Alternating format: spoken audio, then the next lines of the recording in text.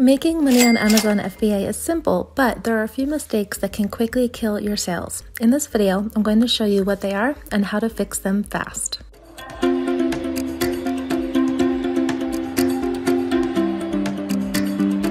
Hey there, my name is Rachel Rofé and I've been selling on Amazon for a few years. In this video, I want to share with you the five biggest mistakes people can make when they're selling on Amazon FBA. A lot of these mistakes can kill your sales very quickly, so it's important to know what they are and how to fix them fast. So, one of the first mistakes that new FBA sellers make is simply not choosing a clear best selling product on Amazon. Although it might be obvious, when you first start as a beginning seller on Amazon FBA, it's easy to feel overloaded with a variety of niche ideas that you're going to want to try. After all, of course, you want to maximize your chances of making a sale. However, it's not necessarily the case to do what we've been doing with low hanging system with FBA. Because with low hanging system, it's all about throwing spaghetti at the wall so you can create as many opportunities for people to buy from you as possible. With FBA, though, it's good to be more intentional with the products that you add, primarily focusing on products that have already made a few sales or have proven best selling niches. So, to maximize the most out of your FBA listings, you'll want to focus your attention on products that can quickly sell all year round, called evergreen products. Now, later down the road, you can add kind of more trendy products, but it's always safe to choose designs that never really go out of style. Otherwise, you might be wondering why your Halloween mug isn't really selling in June. So, examples can include that you can do evergreen would be like birthday celebration mugs or anniversary mugs, occupation mugs, general hobbies and passions, things like that. The list can go on and on, kind of our normal low hanging niches, that kind of thing. Next problem that some people have with the FBA sales is to use low quality product mockups. So you want to use better mockups. It's an easy thing that you can do to increase your chances of making a sale on Amazon FBA. It would just be get high quality mockups so that the buyer can really envision themselves with the product in front of them. Work, but sometimes it's an easy one to just test. So sales can often happen through emotional impulse. So if a buyer can easily see the clarity of your designs, it can increase the chances of sales.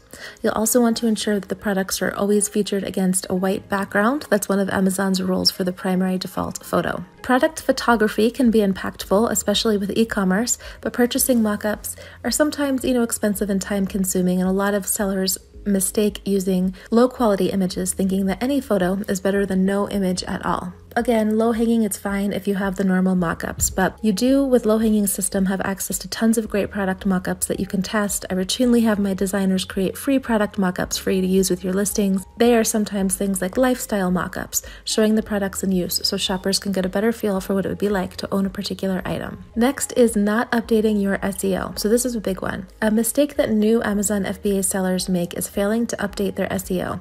Now, Again, if you're doing the low hanging, sometimes you don't need to, but if you find that your sales aren't moving, search engine optimization could be really helpful to help rank higher in Amazon search results and get you some more sales.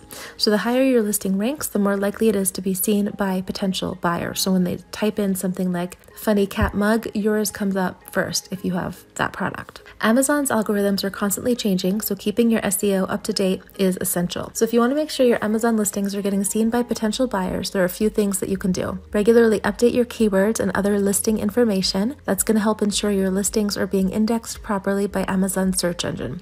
You can also use Amazon's sponsored products program to help get your listings in front of more people. The sponsored products are ads that appear on Amazon next to the related products, and when someone clicks on one of those, they're taken directly to your listing, so that helps you get higher search rankings. You can learn more about Amazon's sponsored products program in my blog post linked in the description. The next thing is ignoring customer feedback and reviews. So, a common mistake is simply ignoring negative reviews that might be piling up. Happy customers, of course, are the bread and butter of any business, but they're especially vital to Amazon FBA because it's a competitive marketplace. Customers definitely rely heavily on reviews and feedback. So, if you want your listings to rank as bestsellers and receive positive five star reviews, you need to make sure you're providing an exceptional customer experience. There are a few key ways to do this. First, focus on fulfilling orders quickly and accurately. This might seem like a no brainer, but it's important to set expectations with customers from the beginning. Make sure they know when their order will ship and provide tracking information so they can follow its progress. Second, keep your return policy clear and concise. Customers should know what to expect if they need to return an item, and you should make the process as easy and hassle free as possible. You also, of course, want to provide top notch customer service if something goes wrong. So, great customer service means responding to their inquiries promptly and proactively addressing any issues that may arise. If a customer is unhappy with a product or service, they should feel confident that they can reach out to you and receive a prompt resolution. Also, of course, double check your product is high quality and well packaged, especially with the print on demand items. So, if you're selling mugs, you definitely want to use Custom Happy and use our mailers because no matter how great your product is, you're going to get stars knocked off if it's poorly packaged and the customers receive a defective product. You can use like Amazon's Vine program that's a great way to get honest, unbiased reviews from customers as well, which you can learn more about in my blog description. So, if you're focusing on all these things and helping for your future five star reviews, these should be really helpful and get those reviews. Next, create the same title and tags for your product is something that people do, which is really not helpful. So, a lot of new FBA sellers make the mistake of using the same title and tags for every product, or they're just not using enough long tail keywords.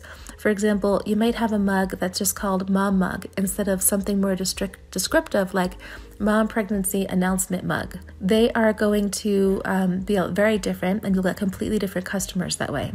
I know sometimes people also will mass create the same titles for every mom related mug, even if the designs are considerably different and made for different occasions. So, this is kind of problematic because it means your products are more likely to be lost in the sea of similar products on Amazon. Instead, you want to take the time to create unique titles and tags for each product in your inventory. Doing so will help your product stand out, be more likely to found, be found by potential buyers. There are tons of opportunities to reach your perfect buyer by using a variety of keywords, and you never really know which ones are going to help you rank as a bestseller.